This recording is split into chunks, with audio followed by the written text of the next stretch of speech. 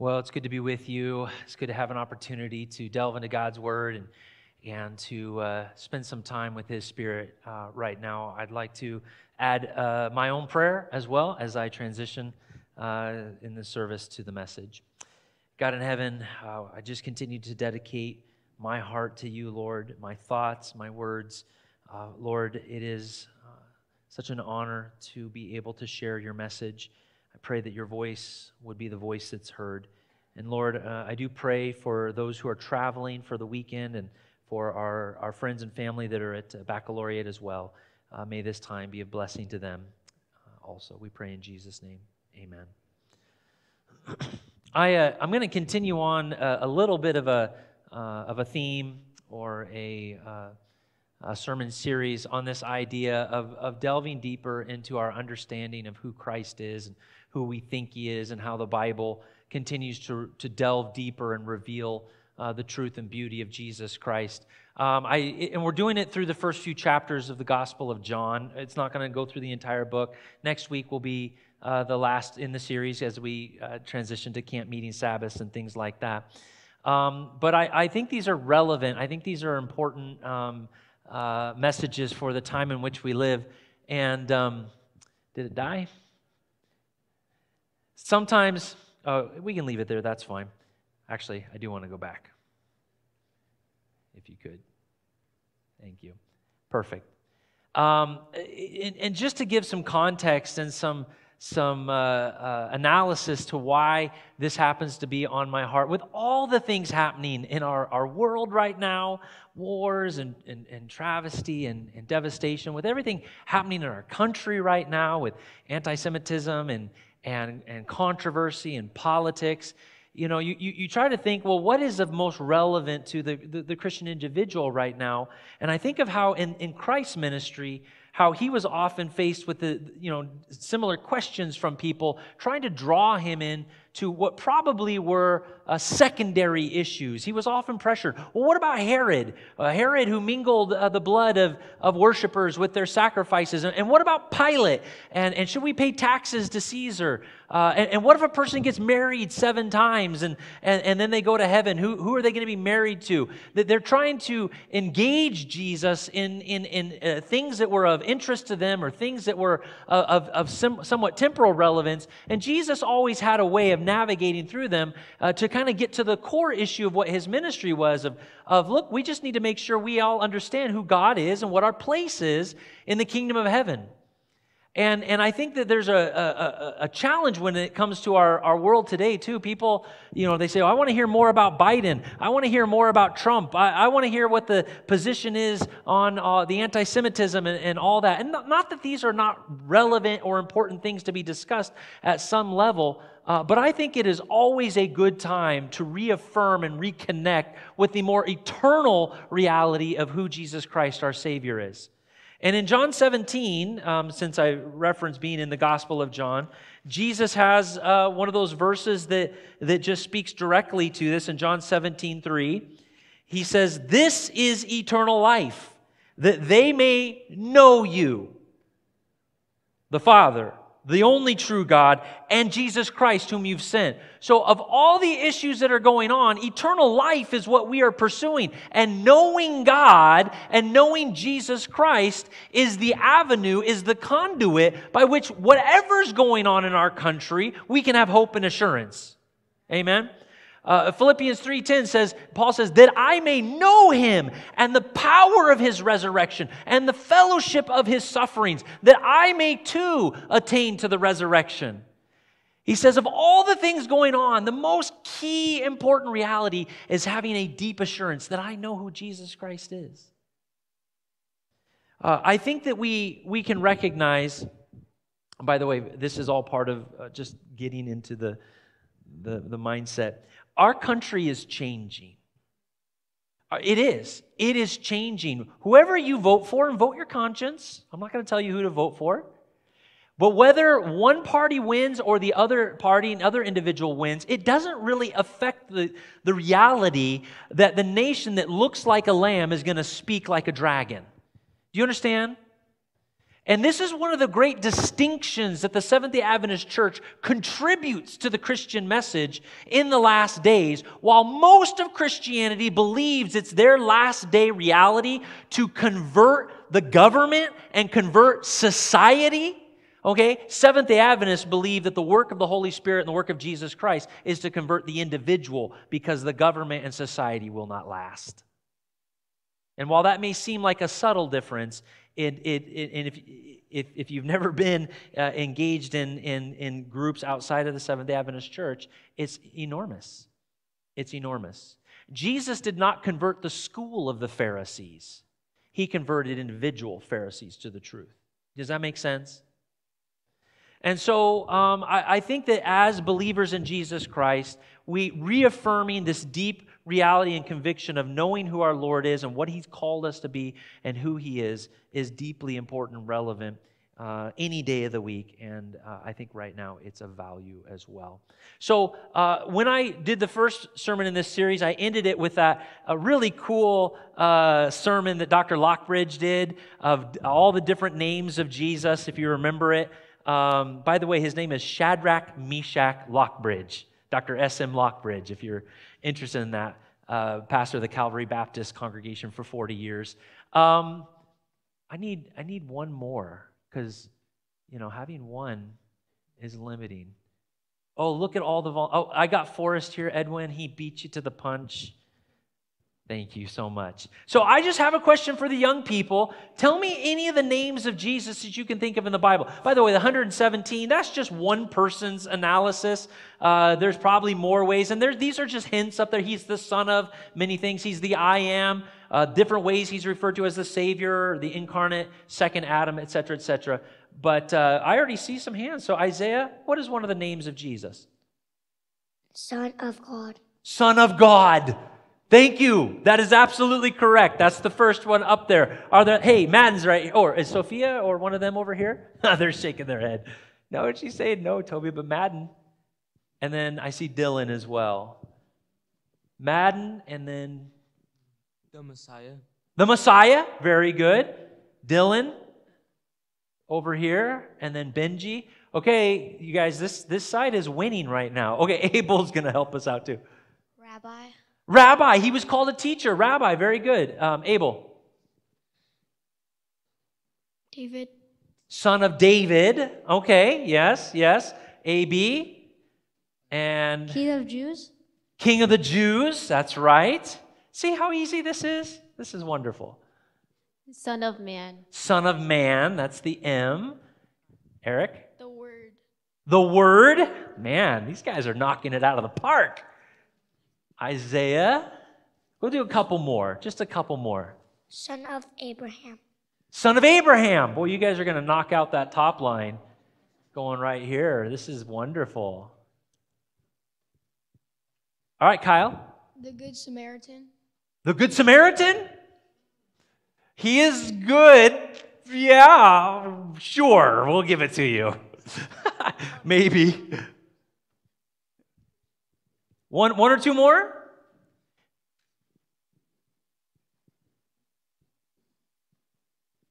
All right, are we done? Okay. Natalia? Emmanuel. Emmanuel. Awesome. All right, Isaiah started us, and Isaiah's going to finish us. All right? The, I didn't catch that. the Good Shepherd. The Good Shepherd. I think that was the good S that you were thinking of, Kyle. Hey, thank you for us. Thank you, Toby. So, again, you know, and it's really one of those things, you can't even limit it to, you can just set it on the pew, there's fine. Um, you can't even limit it because God is the creator of all things. He identifies himself. He is the mountain of salvation, right? Uh, he, he, he, he's an eagle. He's, uh, you know, he's even the serpent uh, because he takes on the sins of the world. So there's almost no limit. That's why even when Kyle said the Good Samaritan, is he the Good Samaritan? Yes. Is he the person that would be unexpected to do something good, but he did? I think that we can give him credit for that. And um, so there's really no limit, but the, the, ones that I put up here are hints the Son of God, man, David, Abraham. The I am, there's at least 40 I ams that Jesus is. Uh, you know, he's the light, he's the bread, the good shepherd, he's the door, he's the priest, he's the king. Um, he's the prophet, I am. Uh, even just the I am. Different words for Savior, Redeemer, Ransom, Lamb of God. The incarnate Christ, Emmanuel, God with us, the Word that became flesh. He became our friend when he took on humanity as well. And then the Isaiah 9 6 list, these are some of my favorite that go back from the Old Testament. And his name, clearly referencing Christ, shall be called Wonderful Counselor, Mighty God, Eternal Father, Prince of Peace. By the way, one of the best Trinitarian verses in the Bible is right here in Isaiah 9 6 because it's clearly referencing Jesus, but it calls him the Counselor, which is also a name for the Holy Spirit. It calls him the Father, and it calls him the Prince of Peace, all in one title. So this is one of those powerful that, that God is one, and the Son is the same as one, and the Spirit are all one, although he identifies as three as well. So, lots of ways that God reveals his character and his name to us. Now, uh, just another little uh, uh, intro into uh, in analyzing the Gospel of John and understanding its place.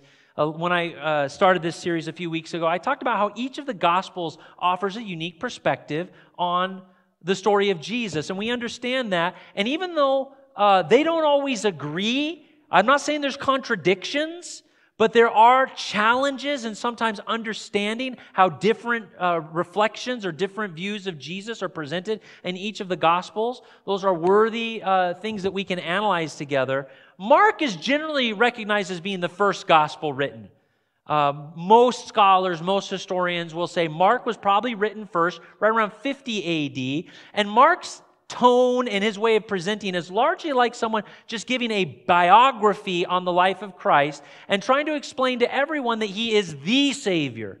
Jesus is the Savior. Matthew's perspective is slightly different. He definitely has a Jewish audience in, in mind as he's writing, and he wants Israel, the Jews, to know that Jesus satisfies the Old Testament verses in the Old Testament prophecies, and he is Israel's Savior. So he's writing more like a reporter. Now, that doesn't limit Jesus to saving only Israel because we know the New Testament teaches if you have accepted Jesus Christ, then you are of the house of Israel. You are a son of Abraham if you've accepted Jesus Christ. So it's not to limit it, but it was especially directed towards Israel in, in, in the fact that Jesus satisfied the pattern and prophecy of the Messiah. Luke is different. Luke is a Gentile writing to a Gentile, and it's a singular letter. It's not written to a group, it's written to a gentleman by the name of Theophilus. All right? And he's writing a very intimate, personal letter, which seems to have this tone of not only is Jesus the Savior, and not only is Israel's Savior, but he's your personal Savior. Okay? He is your personal Lord and Savior. And he writes it, uh, some would say, more as a historian. But John is different. John is different. John generally is, is, is, understood to have written his gospel last. He was definitely aware of at least Matthew and Mark's gospels when he wrote John. And there's reasons that we, we, we believe that, um, that he was aware of the previous two gospels. Whether he knew of Luke's or not, um, don't know. But he seems to have a very different mindset. And, and the way that I just write it is he's trying to explain that Jesus is more. He's more than anything you can ever dream of. And the more you think you have satisfied or settled in your mind who Jesus is, then you delve in a little deeper and you find out that he's even more. And so he writes it from more of a theological. Now, again, this is not to set any of these as being better or more. We need them all. We need them all. But just understanding a little bit of the purpose of John's letter and John's gospel can help us as we study it. John is definitely trying to raise up an extremely high and deep and wide understanding of who Jesus is. He's more than the son of Abraham. He's even more than the son of Adam. He is from eternity beyond. He is the Word. And the Word was with God, and the Word was God, and the Word became flesh and dwelt among us. Jesus is more. So when we started this, we started in John 1, and here you have a lot of different names and identifiers and titles given for Jesus, culminating in Jesus meeting Nathanael, and Nathanael saying, Truly you are the King of Israel, truly you are the Son of God. And Jesus says, But I'm more. I'm also that ladder. I am that connecting bridge between heaven and earth, and that you will see the angels ascending and descending on the Son of Man. I'm more than just the Son of God. I'm the Son of Man. I am the link. Sin has separated us from heaven. Sin has broken the, the, the bridge between our relationship, and I am both the Son of God and the Son of Man. And then uh, took a little hiatus for Mother's Day weekend to talk about the unique story and relationship between Jesus and his mother. But it's still in that same uh, mindset of Jesus being more. Mary understood her son is more than just a carpenter. He's more than just a rabbi or a good man. Although he'd done no miracles in his life up until that point, Jesus, or excuse me, Mary knew my son can do it. My son can do more than what appears on the outside. And so she gives the instruction whatever he says to you, do it. So again, this theme of Jesus being more, Jesus growing, Jesus being of greater uh, uh, importance uh, continues to permeate John. Then you have John chapter 3, and you have perhaps the 21 most important verses in all the Bible. That's Jesus' conversation with Nicodemus. Uh, that those passages, those verses packed into there is more clarity, more definition, more beauty of the role of the Messiah. And then, of course, we have John 3:16 there, right? But also John 3:17, John 3:19. Oh, this entire pericope is just filled with solid important data on the beauty of Jesus. And, and, and I was tempted, in, as I'm going through this, to really delve into each of these realities in John chapter 3 in the conversation with Nicodemus. But as I was thinking about it, I, I wanted to go a different direction. Sometimes in John chapter 3, because of the importance and beauty of that conversation with Nicodemus, it overshadows the other part of the chapter. And that's where I want to go with you this morning is after the conversation with Jesus and Nicodemus, John gives us the last testimony of John the Baptist. And that's what I want to read with you today. That's what I want to spend a few moments studying with you this morning. All on this idea of who do you think Jesus is? And how can we understand through the Gospel of John that he's so much more? He's more. Who do you think Jesus is? So I'm going to be reading. You can grab your Bibles if you want. John chapter 3. It begins in verse 22 right after this extraordinarily intimate and powerful conversation with Jesus saying to Nicodemus, You're a teacher of Israel, you don't yet you don't understand these things. The wind blows where it wants. You don't see it, but you hear it, and therefore you know of its existence. And, and he goes through all of these beautiful explanations of the role of the of the Messiah. As Moses lifted up the serpent, so also the Son of Man must be lifted up. For God so loved the world, he gave his only son. Whoever believes in him shall not perish but have eternal life. Verse 21 But he who practices the truth comes to the light. That word light should be capitalized in your Bible, or at least identify that Jesus is referring to a person when he says the light. John makes that clear in his gospel. He who practices the truth comes to the light, as is found in Jesus Christ, so that his deeds may be manifested as having been wrought in God. And from that point, John the apostle shifts the story to John the Baptist, the last testimony of John the Baptist. So, reading now from John 3, verse 22. After these things, after the story of Mary and, and the water turning to wine, after the conversation with Nicodemus, after these things, Jesus and his disciples came into the land of Judea, and there he was baptizing them uh, spending time with them and baptizing, excuse me. John the Baptist was also baptizing in Aenon near Salem because there was much water there, and people were coming and being baptized. John had not yet been thrown into prison. Therefore, there arose a discussion on the part of John's disciples with a Jew about purification. Now, the Jews were obsessed with purification, ritual purification. As a matter of fact, physical purification was not as much a priority. When you understand what they were doing for ritual purification, uh, the physical was actually quite uh, uh, disconcerting. But they were obsessed with ritual purification. Now, the Jew they're talking about is probably some official Jew or some Jewish authority that was questioning them, saying, Why is it that you, John, you and your disciples, you're baptizing over here, but this other guy, Jesus, is doing another ritual cleansing, purification, baptism over here? And they came to John. This is the disciples of John the Baptist. They came to him and they said, Rabbi, he who was with you beyond the Jordan, to whom you've testified, behold, he is baptizing, and all are coming to him. So, this is a very simple reality. The church of Jesus was growing faster than the church of John the Baptist. That's all this really is. The movement of John was starting to decline, and the movement of Jesus Christ was growing. And the disciples of John didn't like it. They were saying, What's wrong with our purification? What's wrong with our baptism? Why is it that more are going to Christ? Why is it there more that are going to this carpenter, this other rabbi? We understand you said nice things about him, John. We appreciate that you pointed him out as a good guy. But why are more going to him and why is our ministry declining? What's wrong with our purification? And John does, as happens often in the Bible, he answers indirectly. By the way, I hate it when people do this to me. Um, have you ever tried to buy a car? Oh, yeah, I like this car. How much is it? Well, how much can you afford? No, no, I'm asking, what, what are you charging for the car? Well, let's sit down and talk about it. It's probably not as much as you think. Would you just answer the question? This happens in restaurants as well, you know. You know, how are your tacos at this restaurant? Well, they're better than you think. What, what, what does that mean? Indirect answering. But John, and, and this happens a lot in the Bible. Uh, I'm more of a direct person. This is a more indirect. They say, Why is he baptizing and why are more coming to them? Verse 27 John answered and said, A man can receive nothing unless it's been given to him from heaven. Thanks, John. Appreciate it.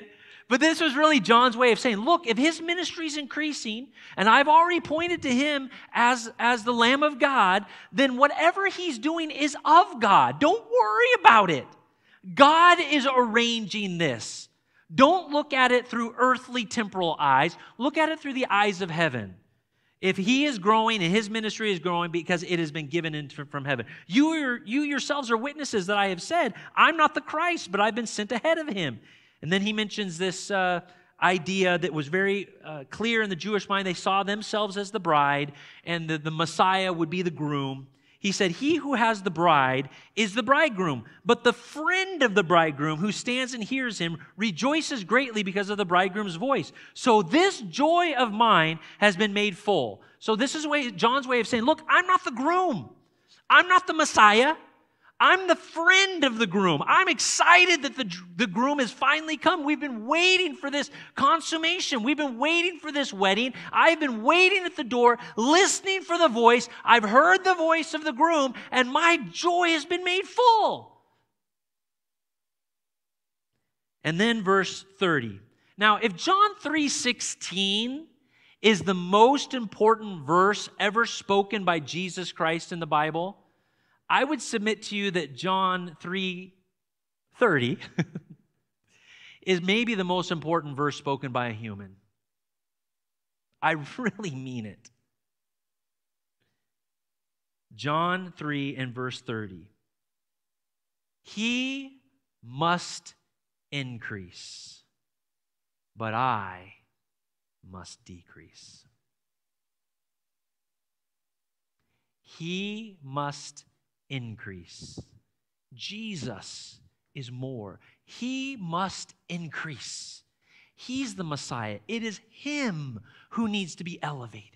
It's Him who needs to be raised up. He's the Savior, not me. If any part of my pride or my uh, notoriety takes away from Jesus, may it never be. I must decrease that Jesus would shine the brighter.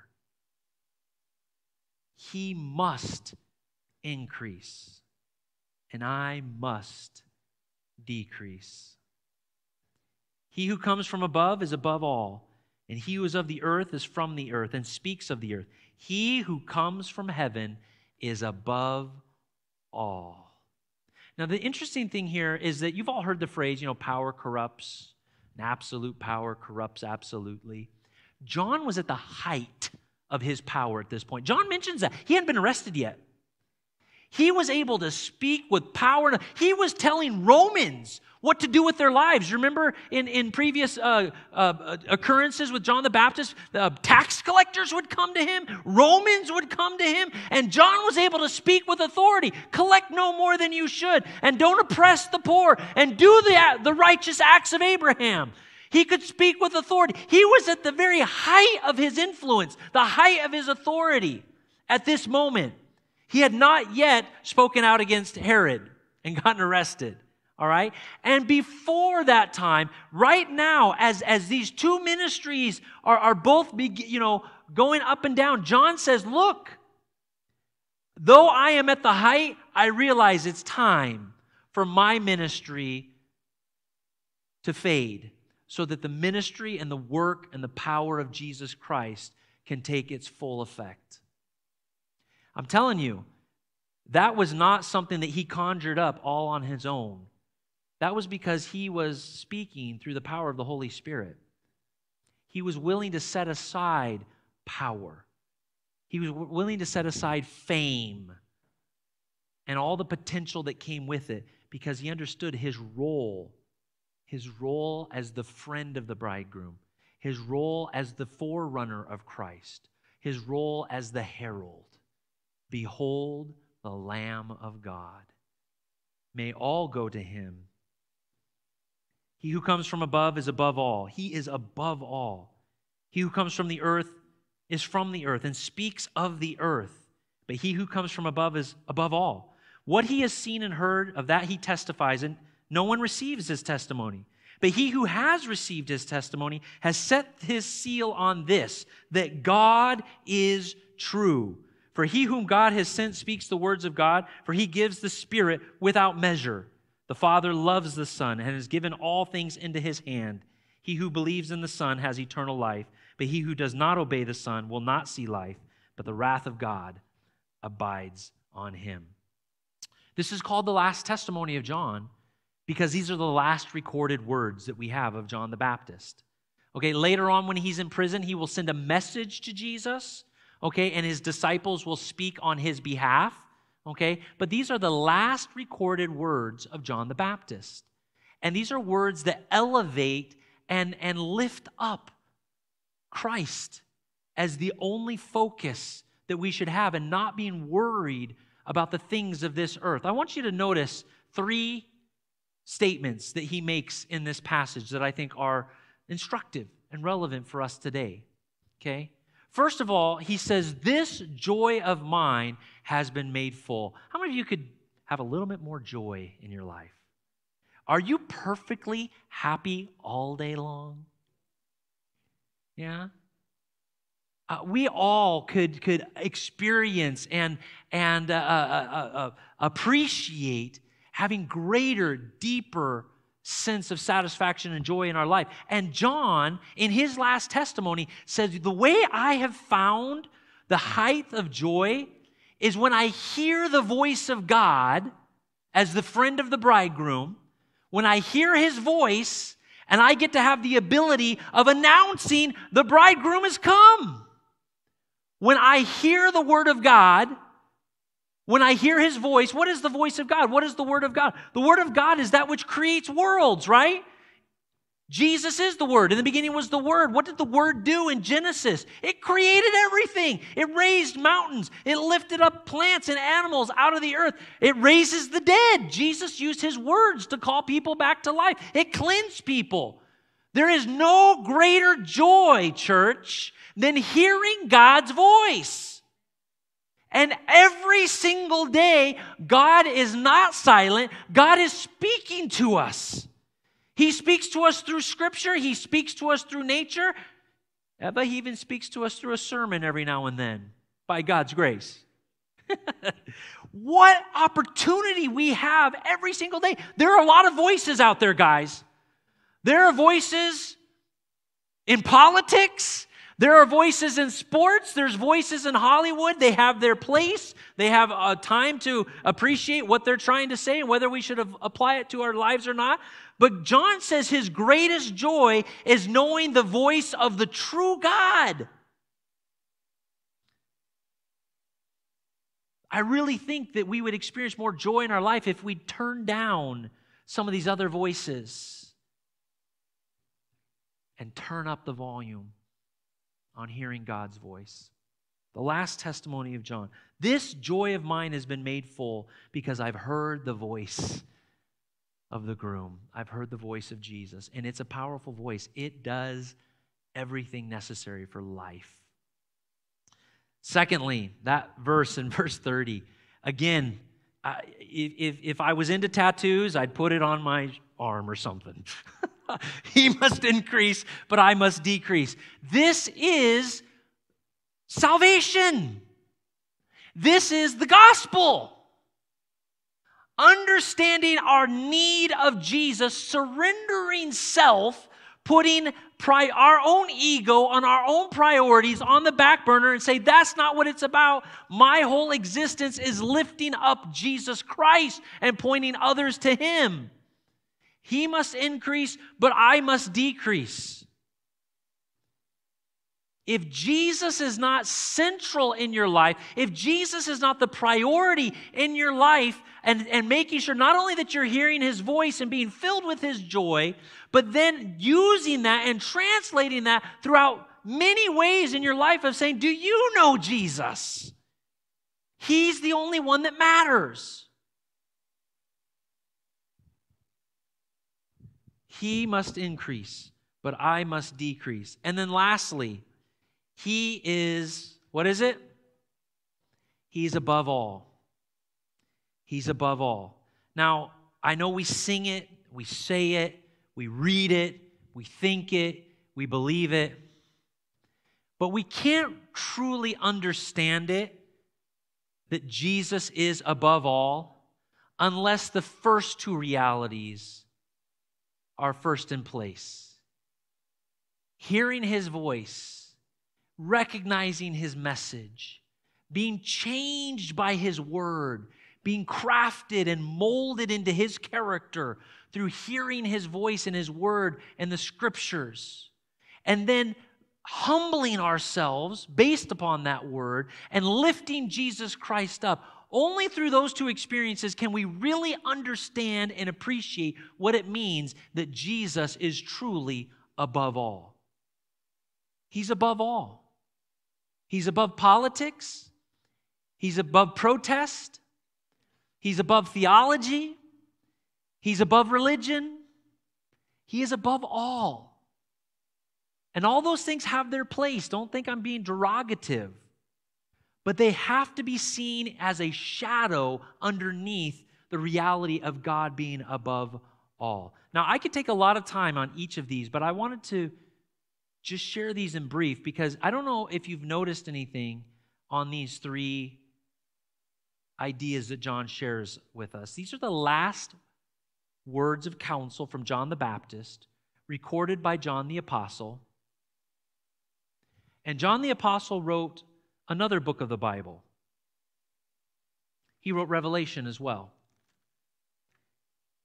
And I would submit to you that John's last testimony that we just read there in John chapter 3 is compatible and synonymous with our testimony in the last days, called the three angels' message. Look with me, if you will, in John 14. John 14 and verse 6. Same writer, John the Apostle, same guy. And I saw another angel flying in the mid heaven, having an eternal gospel. Now, what does gospel mean? Good news. It's the good news. It is the joy that everyone needs to hear and accept and appreciate. It's the fullness of the reality of who God is.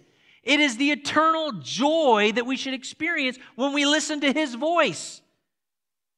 He has the eternal gospel to preach to those who live on the earth, to every nation, tribe, tongue, and people. And he said with a loud voice, Fear God and give him glory. What is that? That is, he must increase and I must decrease. Fear God and give him glory. This is the testimony. Fear God and give him glory. The last message in the uh, in the book of Revelation, and, and our message today is the same as it was for John the Baptist. Our joy is made full when we hear the message of Jesus Christ, when we know the gospel, and when we share the gospel, and when we put Jesus first in our lives, when we fear God and give glory to Him. And then the last part, worship Him who made the heaven, the earth, the sea, and the spring of water. What is that? That is putting Him above all. Above all. Jesus is more than anything else we can experience. And the more we get close to Him, the more we listen to His voice, the more we're transformed by His word, the more we allow ourselves to be humbled and we lift up His character, we lift up His glory, the more we will see ourselves in the context of Him being above all things. And we will not worry, nor will we grow concerned when the things of this earth grow dark. A football player has got himself in a lot of trouble here recently. He's a Catholic, part of the Kansas City Chiefs organization.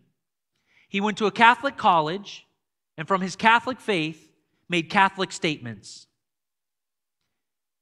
And his whole world has now been turned upside down because there's a lot of people in this country that don't like it. Now, I'm not Catholic.